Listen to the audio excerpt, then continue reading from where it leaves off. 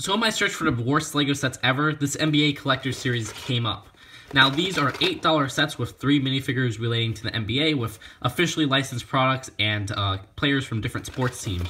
So I'm going to review this and let's just open this up since I did get it sealed and see the contents inside. And this is all the way back from 2003 and it has only about 10 pieces. So this is all the pieces. The first figure we'll take a look at is Paul Pierce and this is when he was on the Celtics doing some research because you guys know I don't know anything about basketball or anything.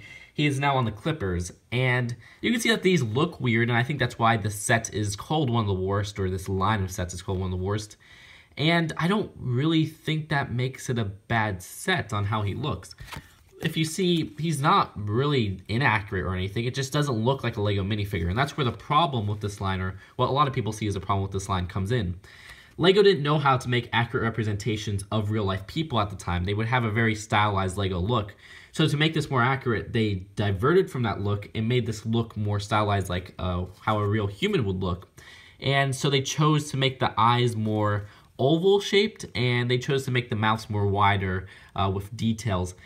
And that definitely makes it not look like a LEGO minifigure that isn't a bad thing in my opinion, but that's going to look really weird because we're so used to the look of a Lego minifigure, either having, you know, dotted eyes or eyes with uh, circular pupils and everything like that. So this style diverts from that, and that's why a lot of people hate this series as a whole, because it just looks different. And I don't blame LEGO, because at the time they didn't know how to make these accurate representations of real-life people. They haven't made uh, flesh minifigures. This was the first time they made really flesh-toned real-life minifigures. So they chose some weird colors, like for here it's brown, now they use reddish brown.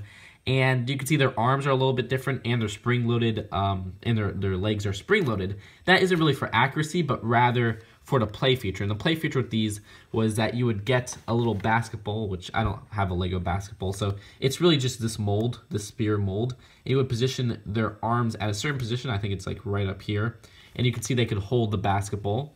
And then you would pull them back and flick it, and it would be like, you, you have to like flick the basketball into the basketball hoop that they would provide. Like that. And that's how play feature would work, but with these display stand sets, they didn't include a basketball hoop, so really this was just for displaying this minifigure, so it makes sense to make a more accurate representation. Either way, you can see his torso has Celtics written on it with Pierce on the back, which these are actually really useful. I'm probably going to use these as just some casual wear uh, for sports fans in like a Lego City or whatever. Just swap out the arms and use regular legs and a regular face. And here's Jerry Stackhouse, and this was when he was on the Detroit Pistons, but now he's on as a coach, assistant coach at the Raptors. And uh, the look of him, again, is one that's more accurate to how he looks than, say, more like a Lego minifigure. And you could just compare it to this, you know, the card that they give you. I like the torso and everything, but again, there's not much of a use for the face for me personally because it just doesn't match the style of other LEGO minifigures. Does that make it a bad LEGO minifigure? No, but it's just kind of an interesting part of LEGO's history. So here's Steve Nash when he was on the Dallas Mavericks, and now he is just doing a quick little search. He is a general manager at the Gold State Warriors.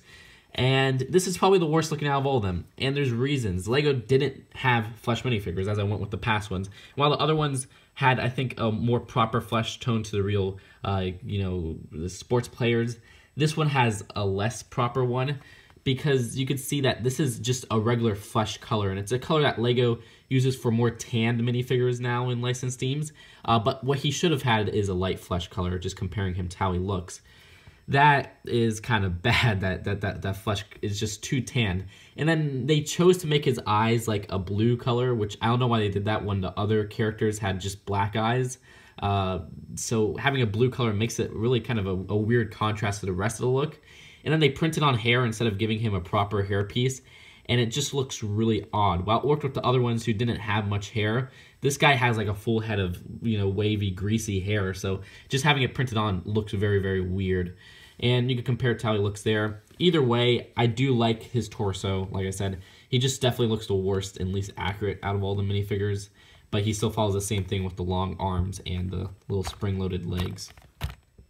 And so they give you these display stands, and this is really the main build of the set. It's weird that they say 9 pieces, or sorry, not 9, 10 pieces on the box, while there's really 12 pieces for the, all the minifigures and these three stands. But the display stands are kind of a cool build. I, I don't mind this whatsoever. I don't know why people say these are some of the worst sets. They have a little slot in the back so that you could slip these cards, which they give you, and you can see their upper deck license and everything, which I wasn't really expecting. And they give you, you know, their sports stats and everything. They're basically sports trading cards. And they give you three of those to match the players in here. And you just slip it onto that little card slot in the back, and it's a cool display piece. You see the other one right here for Jerry Stackhouse. Is pretty neat as well. I do like all the details and graphics on there. And then they have one for Paul Pierce, which has a nice gold to it. All these have a pretty neat coloring, but this one for some reason is gold. I don't know why they chose this one to be gold. And very cool. They have the Celtics logo and everything. So, very interesting choice for the build, and then we'll go on to the box and then the final verdict. So here's the box. There's no instruction booklet, and I think Steve Nash looks way better for his skin color here than he does in the actual minifigure. And that's really it for this box. So the main question is, are these the worst LEGO sets ever, or, or, do they deserve to be on my top 15 worst LEGO sets list? No, and I don't know, or I, I do know why people are suggesting it, but I don't agree with it.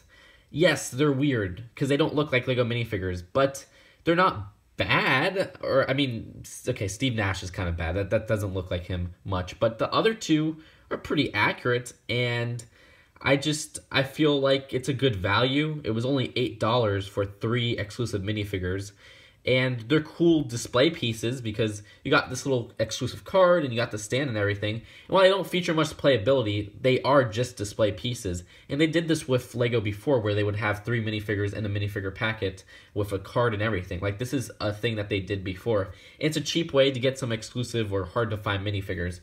So this won't be on the list. And I'm kind of glad that I actually tried this out before, you know, putting on the list. And that's why I want to try out all these different sets before I, you know, put them on this list of war sets because you never know. This one I actually ended up enjoying, and I think it's a good deal for back in the day. It just looks weird, and I wish LEGO would have made it more minifigure-like, but we can't really fault LEGO because this was when they were first learning how to, you know, uh, make realistic-looking minifigures or at least we can't say this is one of the worst things because it was a valiant attempt. So that's it for now. Hope you guys enjoyed this video, and I'll see you guys later.